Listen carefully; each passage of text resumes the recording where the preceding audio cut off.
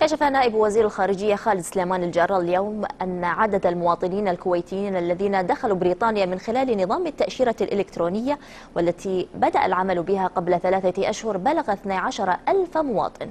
جاء ذلك في تصريح أدلى به الجار الله عقب توقيعه مع وزير الدولة البريطاني لشؤون الشرق الأوسط وشمال إفريقيا توبايس ألوت على خطة عمل لجنة التوجيه المشتركة الكويتية البريطانية للأشهر الستة القادمة.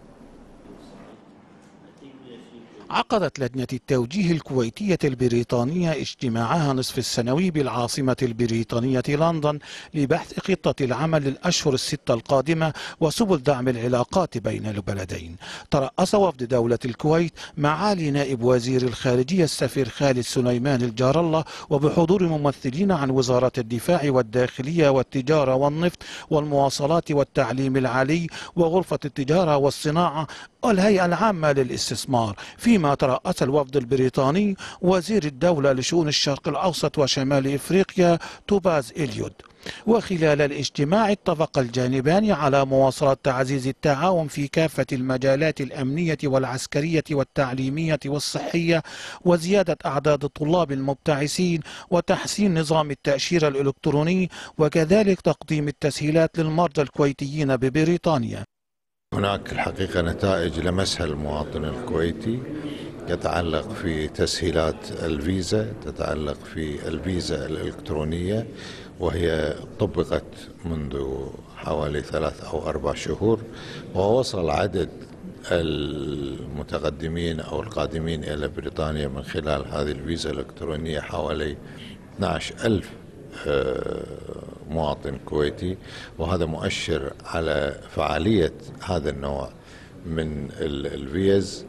وأيضا آه، نحن نواصل الحقيقة العمل ونواصل التنسيق مع أصدقائنا في بريطانيا على تقديم كل التسهيلات للمواطنين الكويتيين وسواء الطلبة أو من يتلقون العلاج في بريطانيا. وفي المجال العسكري أعرب الجانبان عن ارتياحهما للتعاون القائم فيما بينهما وعلى الصعيد الأمني فقد استكمل الجانبان بحث سبل التعاون والتنسيق المتبادل بين الجهات الأمنية في كلا البلدين خاصة في مجال الهجرة وأمن الطيران والعمل على الاستفادة من الخبرة والتقنية البريطانية It's been an extremely productive day.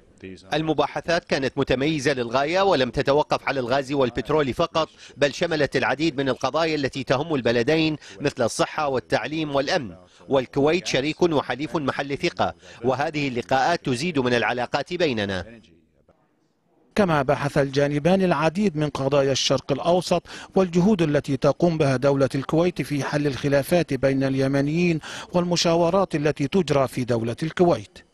كما اجتمع نائب وزير الخارجية مع مبعوث رئيس الوزراء البريطاني لشؤون اليمن ألان دانكن. هناك الحقيقة تفاؤل من قبل المشاركين في هذه المشاورات ومن قبل المراقبين آه، ومن قبل دولة الكويت بطبيعة الأمر. ونعتقد أن هذه المشاورات تسير في الاتجاه الصحيح. والآن أعتقد أنه آه، الأشقاء اليمنيين والمتواجدين في دولة الكويت باجتماعاتهم دخلوا مرحلة من التشاور تتعلق بالتفاصيل المتعلقة بخلافاتهم. وفي نهاية الاجتماع وقعت دولة الكويت والمملكة المتحدة على خطة عمل لجنة التوجيه المشتركة للستة أشهر المقبلة والتي تهدف إلى تفعيل كافة الاتفاقيات السابقة. كما وقع رئيس هيئة تشجيع الاستثمار الأجنبي الشيخ مشعل جابر الأحمد الصباح مع رئيس مركز الأعمال البريطاني الكويتي مذكرة تفاهم لتعزيز وتسهيل تدفق الاستثمارات البريطانية إلى الكويت.